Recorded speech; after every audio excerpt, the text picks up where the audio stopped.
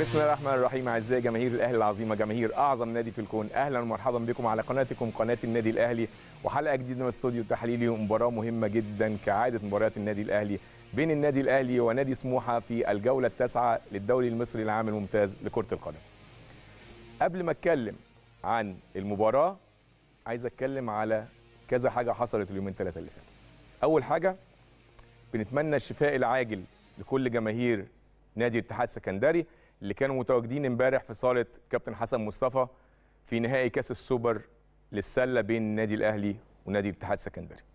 طبعا زي ما حضراتكم عارفين في سور حديدي سقط أثناء تواجدهم في المدرجات ويمكن سمعنا كلنا إن وزارة الصحة طلعت بيان وقالت إن في 27 حالة مصابة من جماهير زعيم الثغر منهم 4 أو 24 واحد أو 25 واحد بحالة جيدة وتقريبا طلعوا وباقي اثنين منهم حالة حرجة ان شاء الله كلهم يخرجوا ويروحوا بيوتهم سالمين. طبعا شفنا الجميع من جماهير النادي الأهلي والمسؤولين واللاعبين والأجهزة الفنية كلها خلف هذه الجماهير اللي بتحب ناديها وجيت من اسكندرية مخصوص عشان تشجع اللاعبين. ويمكن طبعا الاستاذ محمد مصلحي رئيس نادي الاتحاد كان متواجد امبارح وكان معاه لآخر لحظة في المستشفى الوزير العمري فاروق نائب رئيس النادي الأهلي الدكتور محمد شوقي عضو مجلس إدارة علشان يسهلوا ويقدموا أي مساعدات في أي اتجاه. وتم زي ما قلت لحضراتكم نقل مشجع بيحتاج لعناية أكتر إلى مستشفى مصر الدولي تحت عناية الدكتور محمد شوقي وإن شاء الله يكون كويس ويرجع لأسرته بالسلامة. طبعا نتمنى نتمنى من وزارة الرياضة سيادة الوزير أشرف صبحي كشف الحقيقة في سقوط السور الحديدي لأن إحنا سمعنا تضارب في الأقوال ما بين بعض المسؤولين. دي أرواح ناس. يا دكتور أشرف دي أرواح ناس. زي الراجل بتاع مطروح اللي مات اللعيب اللي مات رحمة الله عليه. جماهير جاية من اسكندرية حبا في ناديها. لازم يكون الاهتمام أفضل من كده. اللي قال لك مسؤول قال لك ما كانش في عربيات إسعاف. مسؤول قال لك لا أصل عربية الإسعاف كانت موجودة بس عبال ما دخلت قعدت تلت ساعة. طالما هي موجودة قعدت تلت ساعة من بره الاستاد عشان تخش جوه عشان المسعفين يخشوا جوه الاستاد يخشوا جوه الصالة. ليه؟ يعني يعني يا جماعة راعوا عقولنا راعوا أنتوا بت... أنتوا بتكلموا الناس إيه؟ يعني لما أنتوا بتيجوا تتكلموا الكلام دوت أي كلام خاطبوا عقولنا. خاطبوا عقولنا إحنا بني آدمين وبنفهم أو فينا بني آدمين كويسين وبنفهم. مش أنتوا بس اللي بتفهموا. مفيش سياره إسعاف كانت موجودة يبقى الماتش ما يتعملش. المفروض طلع بعد كده رئيس الاتحاد رئيس الاتحاد بيكذب نائب رئيس الاتحاد بيقول إن لأ كان في عربية متواجدة في محيط الصالة ولكن خدت وقت عبال ما دخلت. ده العربية الثانية هي اللي اتأخرت شوية. نائب رئيس الاتحاد قال غير كده خالص. عمرو مصلحي قال غير كده خالص. ولكن في لجنة بتتعمل عايزين نعرف الحقيقة والناس تعرف الحقيقة. دي حاجة فيها خطورة على أرواح الجماهير. نتمنى مرة مرة يبقى في حساب. ونعرف إحنا كجماهير نعرف إيه اللي هيحصل. مهم مجلس إدارة الاتحاد السكندري طلع بيان شكر شكر فيه مجلس إدارة النادي الأهلي وجماهيره على موقفهم ولاعيبته طبعا. على موقفه النبيل والمحترم وده يدل على العلاقات المحترمة والقوية بين النادي الأهلي والاتحاد السكندري وجميع المسؤولين في جميع الأندية وجميع الاتحادات. دي حاجة طبعا قديمة جدا وتاريخية بين الناديين وبين النادي الأهلي وأي نادي تاني. لكن اللي عمله لعيبة النادي الأهلي ومسؤوليه وجماهيره ده أقل واجب مع جمهور اسكندرية الجميل المحب لناديه ولبلده بعيدا عن أي انتماءات بقى وبعيدا عن أي تعصب بعيدا عن أي منافسة دي حاجة تانية خالص. حاجة تانية خالص. العلاقات التاريخية بين النادي الأهلي وبين جميع الأندية بين جميع الأندية على ما يرام وفي أفضل حالاتها طول عمرها. كمان يعني كلنا زعلنا كجماهير النادي الأهلي من إصابة نجمنا أكرم توفيق قطع في الرباط الصليبي. كلنا نتمنى له الشفاء العاجل. كلنا بندعمه وإن شاء الله يرجع. إن شاء الله يرجع مرة أخرى ويرجع بسرعة زي ما رجع أول مرة ويبقى أحسن من الأول. لعيب عنده عزيمة عنده إرادة راضي بقضاء ربنا أكرم طول عمره راجل في الملعب وبره الملعب وده اللي اتعودناه منه. أكرم من أفضل اللاعبين في النادي الأهلي اللي بتأدي بروح وإخلاص. كل اللعيبة بتأدي بروح وإخلاص. ولكن أكرم من من نوعية اللعيبة اللي أنت يعني تحطه في الملعب وتسيبه من غير ما تقول له تعمل إيه؟ الفترة دي طبعا فترة صعبة جدا على النادي الأهلي. غيابه أكيد مؤثر لأنه لاعب من تراث فريد. ده مش معناه إن إحنا بنقلل من قيمة أي لعيب تاني لأ بالعكس. عندنا ثقة كبيرة جدا جدا جدا في كل اللعيبة اللي بتلبس فانيلة النادي الأهلي. ولكن إن شاء الله أكرم يرجع. النادي الأهلي بينهي الإجراءات في أسرع وقت علشان يسافر للنمسا للخضوع للعمليه الجراحية. عند نفس الدكتور اللي عمل له العملية الأولانية الرباط الصليبي اللي هو في الرجل الثانية وده طبعا حسب اتصالات مع الطبيب النمساوي والدكتور أحمد أبو عبلة. إن شاء الله أكرم هيسافر قبل نهاية الشهر لإجراء العملية. كل التوفيق طبعا لعيبة النادي الأهلي ونتمنى نتمنى بإذن الله الفترة اللي جاية ما يبقاش في إصابات وربنا يحفظ الجميع. عايز أتكلم في حاجة قبل ما أتكلم على الموضوع اللي جاي. أو خلينا أتكلم على الموضوع اللي جاي الأول وبعدين أتكلم أختم بآخر حاجة اللي أنا عايز أتكلم فيها. موضوع تاني بصراحة في بقى حاجات محتاجة إن أنا أعلق عليها. لأن الأمور بصراحة يعني أصبحت لا يمكن السكوت عليها. اولا بتثير الفتن بين جميع الأندية. بتثير الجماهير من الطرفين النادي الأهلي والفريق المنافس. يعني يوضح في القناة طبعا اللي إحنا عارفينها. الجاهلون كوميدي. بيوضح لجمهور ناديه إنه مظلوم ولجمهور الأهلي إن ناديه ظالم. آه هو بي هو بيعمل كده. في حاجات بقى يعني مش تستفزك اولا بتضحك عليها بس لازم أعلق عليها. لأن من ساعة ما محمد شريف جاب الجول الماتش اللي فات صريخ وعويل وأصوات. ليه كل ده؟ ماتش فاركو اللي هو جابه في الدقيقة 96 لأن الهدف مفعوله كان حراق شوية مفعوله جامد شوية. سكينة ضربت في قلب الإعلام المغرض اللي هم نسيوا إن النادي الأهلي طول عمره بيلعب لحد آخر ثانية في المباراة. وماتشات كتير جدا جدا جدا حسمها النادي الأهلي في آخر ثانية من المباراة في الوقت بدل الضايع. طول عمر النادي الأهلي بيلعب لحد الآخر. من وقت بقى ماتش فاركو وبعض الإعلاميين لحد النهارده مسخرين نفسهم للهجوم بس على الحكام. بس بسبب إيه؟ مباراة الأهلي وفاركو. اللي الأهلي فعلا فيها اتعرض لظلم تحكيمي. ويقول لك أصل الهدف جه في الدقيقة 96 و18 ثانية. وإن الحكم أعلن ست... خلينا بس واقفين هنا عشان نتكلم في حاجة معينة بس. اولا الوقت بدل الضايع في الشوط الثاني لا يقل لا يقل عن 10 12 دقيقة. باعتراف الجميع. اتحسب ست دقائق طيب الجول جه في الدقيقة 96 و18 ثانية. لما الجول جه في 96 و18 ثانية قال لك بص أو 18 ثانية دي اللي زودها الحكم علشان النادي الأهلي يجيب هو الحكم أصلا كان بيشم على ظهر إيده عشان يعرف النادي الأهلي هيجيب جول ولا مش هيجيب جول. طب أنت شفت سعادتك في الست دقايق دي؟ كام دقيقة ضاعت من الست دقايق؟ طب وسعادتك لما أنت كسبت قبل كده في الدقيقة 96 وثواني. حد قال حاجة؟ حد اتكلم؟ ولا انت بتشوف بس اللي يناسبك بس واللي ضد النادي الأهلي؟ عشان انت ليك غرض في إثارة الموضوع من ناحيتك بس. كل يوم تقطيع وصريخ واصوات في في القناة اللي أنا قلت لحضراتكم عليها. كل البرامج زي مسخرة نفسها مسخرة نفسها للحديث عن النادي الأهلي. بس. قال لك كلاتنبرج وحش وموجه ومع الأهلي. كل ده ليه؟ عشان الراجل قال في تحاليله على بعض الماتشات كلام حقيقي. هو الراجل إحنا نعرفه ولا هو يعرفنا؟ راجل من بره بيتعرض عليه الحالات وبيشوف الحالات وبيقول الحقيقة. لما يقول كلام كلام في صالح النادي الأهلي ويدين الحكام يبقى الراجل معانا؟ طب ده أنتوا في الماتش ده نفسه حتى يعني حتى الإعلام الأهلاوي كان مؤدب قوي. الماتش ده نفسه اتلغى للنادي الأهلي جول. اتلغى للنادي الأهلي جول. وكان ممكن يأثر على سير المباراة.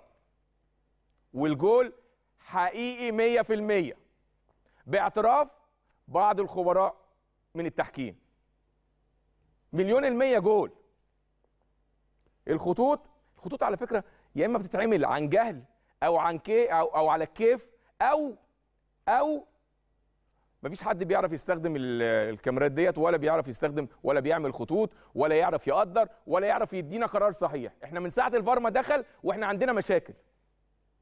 من ساعة الفار ما دخل وإحنا عندنا مشاكل. طب تطوير المنظومة يجي إزاي؟ تطوير المنظومة يجي إزاي؟ ده بعديها بيوم في إحدى المباريات. راجل متسلل مش عايز أقول على الاقل على الاقل بياردتين. بياردتين. وتم احتساب الهدف. وعملوا لنا خط لا يعني هم حتى لما يجيبوا لنا الخطوط بيبين إن اللعيب متسلل. ما يجيبولناش ما بيجيبولناش خط إن اللعيب مش متسلل. لا بيجيبوا لنا خط إن اللعيب متسلل بجزء من من الجسم براسه ومع ذلك الهدف بيتحسب. ولما عملوا لنا ال- الخط بتاع الجول النادي الأهلي بتاع كريم آه، فؤاد وسافيو مفيش offside خالص. والحكم حسب تسلل. ما اتكلمناش فيها كتير وما عدناش فيها كتير لأن يعني إعلام غير الإعلام. إعلام غير الإعلام. حتى لما بيجي بنتكلم في تحضر. في تحضر. هو ده النادي الأهلي. هو ده الفرق بين النادي الأهلي والمنافس. إحنا مش محتاجين مش محتاجين كلام. مش محتاجين حد يجاملنا. إنما اديني حقي. اديني حقي. الجماعة اللي بيعترضوا دول ليه؟ هو الاحتواء قليل السنة دي؟ لسه في بداية السنة. الاحتواء لسه مش واخد حقه قوي؟ قليل؟ قليل بالنسبة ليهم؟ قليل بالنسبة ليهم من حكام الساحة وحكام الفار؟ بتتجامل؟ آه بتتجامل. أنت بتتجامل. أنا ما بتجاملش. بتاخد حاجات مش من حقك. آه بتاخد حاجات مش من حقك. بقى سنتين. ولا يطرد لك لعيب ويتحسب لك مخالفات ويحسب لك أهداف غير شرعية ويحسب لك ركلات جزاء. مش عايز أتكلم على حاجات كتير حصلت الفترة اللي فاتت. ولكن الاتجاه الثاني بقى يعني كان في احتواء اديني أكتر من حقي. بس الاتجاه الثاني عشان الاحتواء يكمل أظلم النادي الأهلي. أظلم النادي الأهلي. ما تدوش حقه. لأن النادي الأهلي لو خد حقه محدش هيحصله. هو مش عايز كده. هو عايز يعطلك. عايز يعطلك جوه الملعب عايز يعطلك بره الملعب عايز يعطلك من خلال التحكيم. إحنا هنا بنقول ما أنا ما هقعد اخاطب مين؟ اخاطب الحكام. ما هم دول بشر برضه ممكن يصيب ممكن يخطئ. ولكن رجعوا لهم يا سيدي الاحتواء تاني. رجعوا لهم الاحتواء. طالما الاحتواء مطلوب على وجه السرعة رجعوا لهم الاحتواء. عشان ما حدش يصرخ ما حدش يعيط. بس اديني حقي. اديني أنا حقي. احتوي زي ما انت عايز الغير. اديني أنا كنادي أهلي حقي. لو اديتني حقي ما حدش هيحصلني. زي آه نكمل بقى عشان كان في حلقة أنا ما اتفرجش عليها بس حد بعت لي يعني. عارفين اللي هو مش مش مش مثلا مش عايز أقول متآمر وجاهل أو أو جاهل ولفظ تاني ما أحبش أقوله. ده واحد حافظ مش فاهم. حاجة نزلت له على السكريبت قال لك إيه؟ الأهلي في الماتش ده كسب بالتحكيم. كسب بضربة جزاء في آخر ثانية مشكوك فيها. ده على الهوا. ده ده صحفي قال كده على الهوا. ده لا شاف ولا سمع. ده جهل. جهل. أنا بقول لحضرتك الجاهلون كوميدي. هي كده. قال لك الحكم جامل للأهلي. وبس كده. والحكم ده لازم يتحاسب عشان ركلة الجزاء اللي حسبها النادي الأهلي في الثانية الأخيرة. ولا يعرف حتى الماتش كان ماشي إزاي. وقال لك ضربة جزاء مشكوك فيها. ده بصوا الأدهى والامر ضربة جزاء مشكوك فيها. يعني هو عارف إنها ضربة جزاء وعارف إنها مشكوك فيها. وبعدين طلع بقى بعديها بيومين. عايز بقى يعني يبرر اللي قاله أو يحسن الصورة. قال لك إيه؟ لا ده أنا بقصد ماتش فيوتشر اللي الأهلي تعادل فيه. الأهلي تعادل فيه. ده أنا اللي بقول لك الأهلي تعادل فيه. يعني النادي الأهلي ما كسبش في ماتش فيوتشر. الأهلي- النادي الأهلي كسب الماتش اللي فات. النادي الأهلي في ماتش فيوتشر اتعادل يا جاهل. يا جاهل اتعادل. وما كانش فيه ركلة جزاء في ال- الوقت بدل الضايع. عشان تعرف بس إنك حافظ مش فاهم. زي ناس كتير جدا جدا جدا عندك في القناة. الراجل ده لما راح بقى بيبرر بيقول لك إيه؟ أصل كلاتنبرج ملبوس. ملبوس؟ تخيل وصل لفين؟ يعني كلاتنبرج طلع ملبوس. عشان كده بيحلل كل الحالات لصالح النادي الأهلي بإيجابية. واللي قال لك ده بياكل عيش. واللي جابوه جمهور النادي الأهلي. والنادي الأهلي هو اللي ممشيه. هو مين أصلا اللي جاب كلاتنبرج؟ أقول لحضراتكم اللي جاب كلاتنبرج من اتحاد الكره بعض المسؤولين اللي هم بينتموا لنادي الزمالك. بعض المسؤولين اللي في اتحاد الكوره اللي بينتموا لنادي الزمالك. طب بلاش دي. في نجم كبير ولعب كوره وكان في منتخب مصر قال لك إيه؟ إن الحكم طارق مجدي إدى كورنر للأهلي وده كمان كان بعد انتهاء الوقت. كويس؟ والمفروض المفروض ده هو اللعيب اللعيب الكبير ده اللي هو المفروض بيفهم انهم يلعبوا الكوره على طول. ما دي آخر فرصة والوقت خلص. إنما ده قبل الحكم ما يصفر إنما حسين الشحات لعب الكرة لقفشه ما لعبهاش مرة واحدة. وبعدين قفشة رجعها له تاني. ده ده هو بيتريق على الحكم. يقول لك إن بص حصل إيه في الكورنر؟ الكرة ما اتلعبتش من مرة واحدة لأنها جت بعد ال 96 دقيقة. ده لعبها لقفشه وقفشه راح جاي مرجعها تاني لحسين والحكم مستني. يشوف آخرتها إيه. ده هو بيسخر من الحكم. بيسخر من الحكم. هو لا فاهم ولا عارف. طب أنت جبت الكلام ده منين أصلا؟ يعني إيه بيباصي الكرة لزميله يبقى تريقة تريقة على الحكم إزاي؟ يعني حسين الشحات حسين الشحات لما لعب الكرة لقفشه بيتريق على الحكم؟ يعني إيه بيتريق؟ أنا أول لفظ أول مرة أسمعه في الكورة بصراحة. بيتريق على الحكم يعني إيه؟ أنت لعبت إزاي كورة يا كابتن؟ أنا مش فاهم. يعني حسين الشحات إدى الكورة لقفشة وقفشة لما إداها له تاني دي تريقة وسخرية من الحكم على أساس إن هو كده كده مستنينا لحد ما نلعب الكورة. مش فاهم إيه أنا مش فاهم قصده إيه يعني. ولا أنت بتتريق على الحكم؟ أنا مش فاهم. ده لعيب كورة لعيب كورة ولعيب كورة المفروض إن هو بيفهم. الناس دي بتقول كلام غريب جدا جدا جدا جدا. هو script script بيتكتب لهم وخلاص. وانت بتقول مش فاهم أي حاجة. مش مش شخص معين. لا ده مجموعة. مجموعة. والعنوان الرئيسي بتاعهم إن في مجاملات للأهلي الفترة دي ده استكمال السكريبت عشان الفترة اللي جاية يبقى فيه هجوم وفيه ضغط على النادي الأهلي. وقال لك إن كلاتنبرج لما جه فطنوه وحفظوه. أهم حاجة ما تجيش على الاهلي عشان تاكل عيش لأن اللي قبلك حسام عصام عبد الفتاح جه على الاهلي فمشوه. ده قال كده بالنص. هم قالوا له كده بقى؟ قالوا له ما تجيش على الاهلي لأن لو جيت على الاهلي هتمشي. إيه الكلام الفارغ ده؟ والغريبة إن الناس دي ما بتتحاسبش. الناس دي ما بتتحاسبش. المفروض تتحاسب لأنها بتثير الفتنة بين جمهور الناديين أو بين الجماهير في مصر ولكن لا وعادي خالص. وبيتكرر بيتكرر بيتكرر. ولكن مفيش حد لا بيشوف ولا بيسمع ولا بيحاسب ولا بيقول أي حاجة. أنا بتكلم على المسؤولين اللي بيشوفوا الكلام دوت.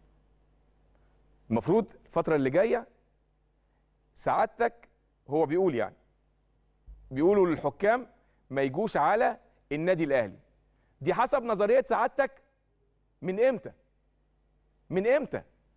النادي الأهلي آخر سنتين اتظلم قد إيه ما حدش يتكلم ما حدش يتكلم أنتوا كل اللي يهمكم دلوقتي إن النادي الأهلي ما ياخدش حقه.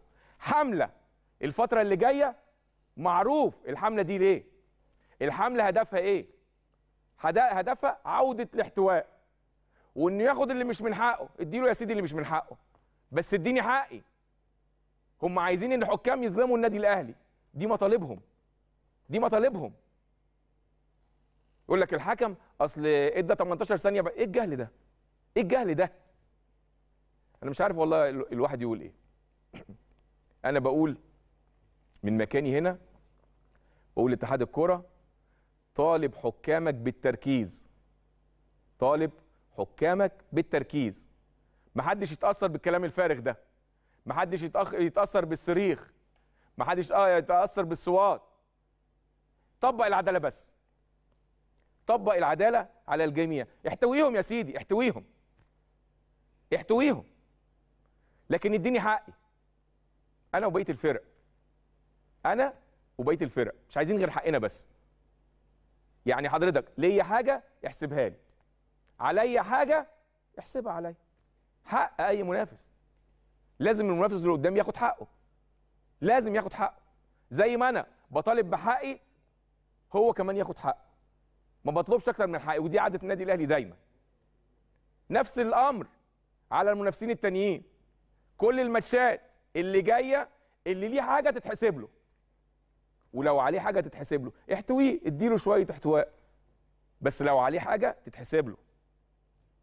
والمنافس اللي قدامه لو له حاجة برضه تتحسب له. برضه هرجع تاني بقول إن الفترة اللي فاتت دي ما سمعناش أي مسؤول من اتحاد الكرة اتكلم رغم الهجوم والاتهامات العلنية للحكام ولكلاتنبرج. السكوت ده إيه معناه إيه؟ أنا مش عارف معناه إيه. هل معناه إن أنت راضي عن الكلام ده؟ ولا في حاجة هتتعمل الفترة الجاية؟ معرفش إيه اللي هيحصل. ولا في حاجة هتدافعوا بيها عن عن التحكيم وعن الحكام؟ أنا مش عارف. طيب.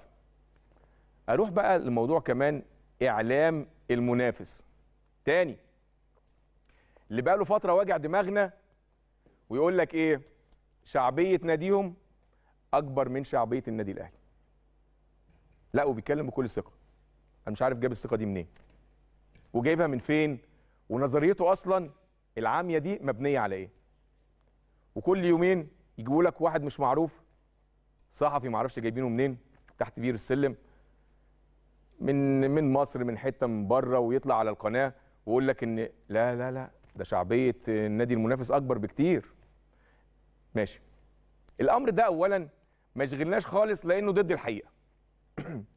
بص حضراتكم وشفتوا الس- السنتين ثلاثة اللي فاتوا أو الفترات اللي فاتت كلها لما النادي الأهلي بيروح أي دولة عربية بيحصل إيه؟ شوف بقى لما فريق حضرتك بيروح دولة عربية بيحصل له إيه هو كمان؟ فرق شاسع كبير جدا جدا جدا بين النادي الأهلي وبين أي فريق تاني مع احترامي لجميع الأندية. وقلت لحضراتكم الأيام اللي فاتت أثبتت لكم ده لكن هم بيكابروا. لا مش بيكابروا بس. هم بيكذبوا واحيانا بيصدقوا الكذبة. بيكذبوا واحيانا بيصدقوا الكذبة. طيب لما بنيجي بنتكلم على إحصائيات ودراسات و... معظمها كانت بتقول إيه؟ إن شعبية النادي الأهلي في مصر شعبية شعب- شعبية جماهيرية طبعا تقريبا 70% أو تتخطى كمان ال 70% من جماهير مصر. لكن إعلامي المنافس شايف حاجة تانية. لا هو شايف الحقيقة على فكرة. هو شايف الحقيقة. بس هو بيوهم جماهيره وخلاص. بيوهم جماهيره. طيب حاجة تانية هم بيحاربوها برضو اليومين دول. عشان تعرف برضو إن هو كلامه متناقض. عشان تعرف الشعبية والفرق قال لك إيه؟ رابطة الأندية بتعمل استفتاء بعد كل جولة. ماشي. في الثمان جولات اللي فاتوا سبعة منهم سبعة اللي هو أحسن لعيب للعيبة النادي الأهلي. وواحده الثامنة كمان ما كانتش ليهم. دي كانت ليه؟ أحمد الشيخ لاعب نادي غزل المحل ففي الثمان مباريات ما كانش فيه لعيب متواجد من الخصم. نقف هنا. طب انت لو لو شعبيتك جارفة قوي كده وزايدة عن النادي الأهلي الوضع الطبيعي إيه اللي يحصل؟ ما هو الاستفتاء ده للجماهير. الاستفتاء ده للجماهير. يا جهلة يا جهلة. لو انت شعبيتك عالية زي ما انت بتقول الوضع الطبيعي إن انت كل ماتش هيطلع أحسن لاعب منك. ده انت يا جهل بتعترض على موضوع استفتاء الرابطة ده في في أحسن لاعب. قال لك إيه بتدي الجماهير ليه؟ ما تديش الجماهير. الله مش أنت بتقول إن أنت صاحب أكبر شعبية في مصر؟ الوضع الطبيعي إنك تكتسح جميع الاستفتاءات. ده الوضع الطبيعي. ده لو في مخ يعني. لو أنت بتتكلم وبتفهم. الوضع الطبيعي. مش معقول حد من جمهورك هيدي لعيب النادي الأهلي. الوضع لو ادوا له مليون مش هيدوا له ال 60 70 مليون اللي انت بتقول ان هم بيشجعوك.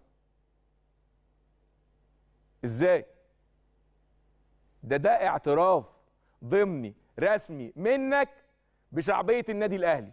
وإن شعبية النادي الأهلي في مصر تفوق جميع الأندية بما فيهم ناديك تفوق بمراحل كمان بمراحل مع احترامي لجميع الأندية ومع احترامي لجماهير كل الأندية. طيب أنا رأيي بقى طالما في اعتراض خلاص ماشي. هنعمل لكم استفتاء مع نفسكم وانتوا تختاروا أحسن لعيب أنتوا بس. ونعمل الاستفتاء الجماهيري العادي. بس هو ده الحل عشان حد من عندهم يكسب لاعب الجولة. بس ده, ده أنا ده وجهة نظري. هو في ناس قالت حاجة تانية ولكن أنا بقول لا نعمل لهم استفتاء لوحدهم عشان يحطوا الثلاث لعيبة بتوعهم من هناك. وهم يتنافسوا وبعدين ده ممكن يتنافسوا وما فيش حد يكسب منهم كمان. هي دي آخرتها. يعني أنا أنا عايز أعرف يعني. أنت بتبرر وبتتكلم كلام وأنت نفسك أنت نفسك بعد كده بتناقض الكلام اللي أنت بتقوله. يا جماعة المسافة كبيرة جدا جدا جدا. بيننا وبين المنافس. بيننا وبين المنافس. كبيرة جدا. يعني آخر مرة كان علي معلول هو اللي كسب الجولة الثامنة. قصاده كان أحد لاعبي المنافس. آه قصاده كان أحد لاعبي المنافس. بتكلم على الاستفتاء الجماهيري اللي عاملاه رابطة الأندية. عارف لما تقول إن مثلا علي معلول كان في حد قريب منه هتبقى النسبة إزاي مثلا؟ إيه 60 40 55 45 70 30 80 20 لا ده حتى علي معلول تخطى نسبة ال 90% ال 90% طب فين الشعبية الجارفة دي اللي أنت بتتكلم عليها؟ فين؟ أنا يعني أنا عايز أعرف فين الشعبية دي؟ مش هتكلم برضه أكتر من كده لأن الموضوع يعني مش عايز إن أنا أزودها وأقول إن هو يعني في غباء في عدم تفكير في جهل. هو جهل هو جهل. بس الجاهل ده الجاهل ده اللي بيتكلم بيناقض نفسه. أدي الشعبية. سبع أسابيع لعيبة النادي الأهلي هي اللي مكتسحه الاستفتاء سبع سبع مباريات سبع جولات يعني. من ثمانيه من أصل ثمانيه والثامن لعيب غزل المحلة أحمد الشيخ هو اللي فاز بيها. فين الشعبية؟ قولوا لي فين الشعبية. ده إحنا داخل مصر. وحضراتكم بتشوفوا النادي الأهلي خارج مصر. شفنا بطولات بتتعمل في دول عربية كرة سلة كرة طايرة كرة يد كرة قدم. النادي الأهلي مكتسح. النادي الأهلي شعبيته تفوق الجميع. مع احترامي برضو للجميع. قال لك في الآخر خالص بقى قال لك إيه؟ مسؤول أحد المسؤولين بقى عندهم في النادي. قال لك لا بقى إحنا بقى يعني لازم جمهورنا بقى يخش ويصوت. ما هم دخلوا فعلا. هم دخلوا. هم دخلوا في الاستفتاء بتاع علي معلول الأخير. ودخلوا بكثافه كمان. وصل لإيه بقى؟ حد النهائي. عارفين وصل لإيه؟ إن علي معلول خد 90% وشوية من نسبة التصويت. واللي دخلوا صوتوا للمنافس خدوا 9% بس. ادي فرق الشعبية. يعني أنا قلت 70% شعبية لا ده تتخطى كل ده. ده شعبية النادي الأهلي تعدي 80% في بلدنا. عايز اتكلم على حاجة مهمة جدا جدا ماتش النهارده. الحمد لله الماتش اللي فات بالروح والعزيمة والإصرار قدرنا ناخد الثلاث نقاط. ماتش النهارده ماتش صعب جدا قدام سموحة معاه مدرب قدير هو الكابتن طارق العشري. أتمنى إن يكون الفوز حالفنا بإذن الله. يمكن سموحة مش ماشي كويس الفترة ديت ولكن لما بيلعب ضد النادي الأهلي كعادة كل الفرق بيبقى حاجة تانية خالص. تعال نروح الأول نطمن على آخر الأجواء في فندق الإقامة. من زميلنا كريم أحمد ونرجع نكمل مع حضراتكم مرة أخرى. كل الشكر والتقدير ليك كابتننا كابتن أيمن شوقي. برحب بيك في البداية وبرحب بكل مشاهدينا وكل جمهورنا العظيم جمهور النادي الأهلي. كالعادة تحدي جديد وجولة جديدة من بطولة الدوري العام الأهلي وسموحة في الجولة التاسعة. اليوم إن شاء الله في تمام السابعه مساء على استاد الأهلي بمدينة السلام. يا رب إن شاء الله بنتمنى كل التوفيق للنادي الأهلي في هذه المباراة. لكن في البداية كالعادة يعني يعني بنقول لاكرم توفيق ربنا يكون معاك. عهدناك كبطل يا أكرم. إصابة في توقيت صعب جدا لكن هو اختبار وابتلاء كبير جدا من ربنا سبحانه وتعالى. إيمان أكرم. الكبير ويمكن صبره. وقربه جدا من ربنا سبحانه وتعالى. إن شاء الله بإذن الله يتعدى هذه المرحلة اللي يمكن يعني محزنة جدا على الجميع. يعني الحالة اللي فيها لعيبة النادي الأهلي الجهاز الفني الجمهور بنقابل كل الناس الحقيقة يا كابتن أيمن. الكل حزين بيسأل على اكرم لكن هو اختبار كبير جدا لأكرم. وان شاء الله بإذن الله زي ما بنقول عهدناك بطل يا أكرم. بإذن الله إن شاء الله تعود من جديد بقوتك وعزيمتك وقلبك ورجولتك الكبيرة جدا. إن شاء الله تقادر النادي الأهلي في مشواره في بطولة الدوري العام والبطولة الأفريقية. إن شاء الله في خلال الموسم القادم إن شاء الله بإذن الله. يمكن دي البداية اللي كنا حابين نتكلم بيها طبعا على أكرم توفيق واحد من العناصر الرئيسية والأساسية. مش لعيب فقط لغير لا إمكانياته كبيرة جدا وعزيمته كبيرة جدا بيدي إضافة للجميع. لكن إن شاء الله بإذن الله الكل في واحد زي ما بنقول أي لعيب يكون متواجد في هذه المرحلة المهمة جدا. لفريق النادي الأهلي هيأدي عليه وزيادة زي ما بنأكد وزي ما لغة كرة القدم بتقول. عندنا عناصر مميزة جدا. كمان يمكن مستر مارسيل كولر بيقوم ببعض التدوير بيحاول إن هو طبعا يوظف ويعمل تشكيلات كثيرة جدا. لكن إن شاء الله بإذن الله يستقر بشكل كبير جدا النادي الأهلي على التوليفة المميزة اليوم إن شاء الله النهارده في مواجهة سموحة. فريق عنيد جدا يعني زي ما قلنا الكابتن طارق العشري عدد كبير جدا من مواجهات فريق النادي الأهلي. يمكن يصل ل 24 مباراة في مواجهة النادي الأهلي مع أندية مختلفة. يتميز طبعا بالتكتلات الدفاعية بعيدا عن أي أي طبعا فريق بيقابل النادي الأهلي هي مباراة كؤوس. زي ما شفنا في كل المباريات وتحديدا المباراة الأخيرة بتفوز في الدقيقة 96 لكن ده يعود للعيبة النادي الأهلي. يمكن الكل بيقول المباراة ويمكن الفرص لكن أنت عارف يا كابتن أيمن اللعيبة ما بيكونش فيه الباد لك بتاعه ما بيكونش موفق. بيقابله طبعا سوء توفيق كمان يمكن المجموعة كلها. النادي الأهلي بيلعب وحدة لكن زي ما إحنا عارفين وبنشوف التكتلات الدفاعية وال طبعا الأمور اللي إحنا بنشوفها في أي فريق بيقابل النادي الأهلي بتزود صعوبة المباراة. عشان كده النهارده مطلوب التركيز بشكل كبير جدا الإصرار العزيمة. نبدأ البداية المهمة جدا زي ما شفنا في المحله بدايتنا كانت رائعة. تحرز هدف واثنين ويبقى عندك المزيد كمان من الإصرار إن أنت تعمل سكور. كل مباراة ليها ظروفها المباراة إن شاء الله النهارده تكون ظروفها ومناخها وكل حاجة تكون في مع فريق النادي الأهلي إن شاء الله مع مستر مارسيل كولر يختار التشكيلة المميز المحاضرة الفنية يأكد على كل الثغرات ونقاط القوة والضعف الرغبة متجددة وموجودة ويمكن ده أمر مهم جدا عند فريق النادي الأهلي. لكن أنت تجدد الرغبة ده أمر محتاج اللعيبة الكبار يكون في تحفيز بشكل كبير. الجهاز الفني بيقوم بدوره من خلال التكتيك من خلال التحليل من خلال كل الأمور دي. لكن في دور كبير جدا على لعيبة النادي الأهلي في هذه المرحلة اللعيبة الكبار لابد يكون في أحاديث مستمرة جدول الدوري من الأول للسادس يا كابتن أيمن. لما تشوف خلاص كل مباراة بتطلع ثلاث أربع مراكز فمحتاجين إن شاء الله الثلاثه بونت بإذن الله النهارده. مباراة مهمة جدا كالعادة متواجدين في فندق الاقامه بننقل كل الاخبار والكواليس الخاصة بفريق النادي الأهلي. الأمور الاعتياديه طبعا يا كابتن أيمن في فندق الاقامه حالة الهدوء والاستقرار اللي بتساعد بشكل كبير جدا لعيبة النادي الأهلي على التركيز. ومنها إن شاء الله بإذن الله على استاد الأهلي والسلام اللي بإذن الله النهارده يستقبل مباراة اليوم تحت القيادة الفنية الخاصة طبعا بحكم ساحه يكون كابتن أحمد الغندور مساعدين سمير جمال وصالح محمد عمرو رمضان وعمرو الشناوي حكم فار ويساعده محمد صلاح. كل التوفيق للنادي الأهلي. بإذن الله كالعادة كابتن أيمن نكون من خلالك ننقل كل الأجواء الخاصة وكواليس مباراة اليوم النادي الأهلي وسموحة من فندق الاقامه حتى ملعب المباراة. شكرا زميلا شكرا جزيلا للزميل العزيز كريم أحمد. كريم لخص كل حاجة ولخص كمان طريقة لعب الكابتن طارق عشري في سموحة. وتقريبا الكابتن طارق عشري ما بيغيرش أسلوبه مع جميع الفرق اللي هو مسكها سواء بدأ بالحرس وادي دجلة إنبي المصري طلائع الجيش والأهلي بني غازي. هو أسلوب واحد خصوصا لما يلعب مع النادي الأهلي. بيقفل نص ملعبه ولكن أكيد مستر كولر درس وشاف وشاف نقاط القوة ونقاط الضعف والضعف وإن شاء الله يكون عنده الحلول النهارده لتخطي سموحة وبإذن الله إضافة ثلاث نقاط للنادي الأهلي والتربع كما نحن على صدارة المسابقة أو قمة المسابقة. عايز أنهي بحاجة بسيطة جدا. العلاقة بين جماهير النادي الأهلي العظيمة ولاعيبه النادي الأهلي العلا- العلاقة طول عمرها في حالة حالة من الحب والعشق ممكن أزعل.